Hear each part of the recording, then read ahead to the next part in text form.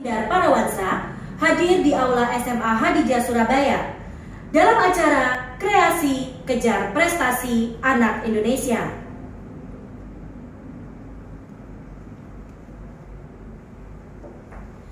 Acara ini turut dihadiri Kepala OJK Regional 4 Jawa Timur, Dirut Bank Jatim, KPW Jatim Bank Indonesia, dan Kepala Dinas Pendidikan Jawa Timur.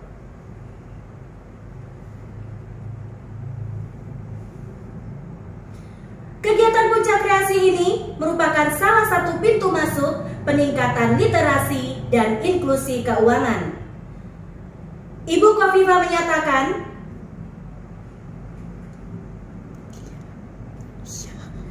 Ibu Kofifa, sorry sorry sorry, bisa dikat nanti.